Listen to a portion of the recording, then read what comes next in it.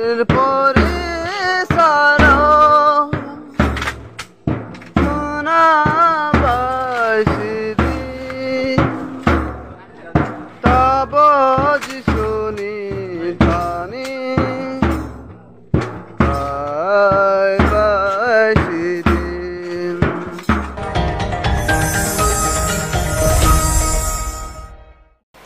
വടക്കുകിഴക്കൻ ഇന്ത്യൻ സംസ്ഥാനമായ ത്രിപുരയിലെ കുമാരി ഗ്രാമത്തിലെ കത്തോലിക്ക പ്രാർത്ഥനാലയം ജമാദിയ ഗോത്രവർഗക്കാരായ ഗ്രാമവാസികൾ തകർത്തു.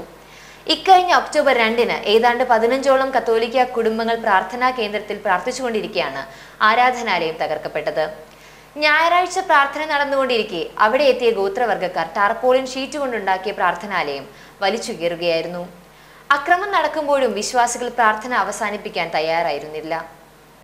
അമർപുരിയിലെ സെന്റ് ജോസഫ് വാസ് ഇടവകയിൽ ഉൾപ്പെടുന്ന പതിനഞ്ച് ഗ്രാമങ്ങളിൽ ഒന്നാണ് കൊമാലി. ഇടവകയുടെ ഉടമസ്ഥതയിലുള്ള ഭൂമിയിലാണ് പ്രാർത്ഥനാ കേന്ദ്രം നിർമ്മിച്ചിരിക്കുന്നതെന്ന് ഇടവക വികാരിയായ ഫാദർ ലിജേഷ് മാത്യു പറഞ്ഞു.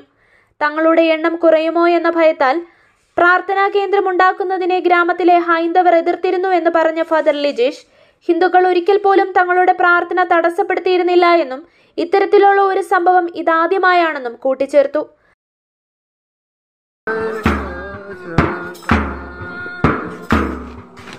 阿妈，我上班，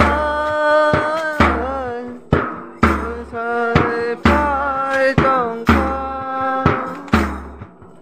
我让西格拉叫我来上班，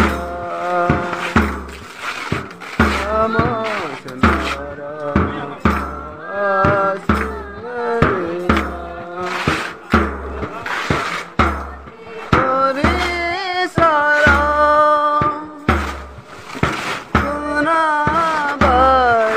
സംഭവത്തിന്റെ പിന്നിലെ യഥാർത്ഥ കാരണം കണ്ടെത്തുവാനാണ് തങ്ങളുടെ ശ്രമമെന്നും ഗോത്ര സമുദായവുമായി സമാധാന ചർച്ചകൾക്കുള്ള ശ്രമം തുടങ്ങിയതായും ഫാദർ ലിജേഷ് പറഞ്ഞു.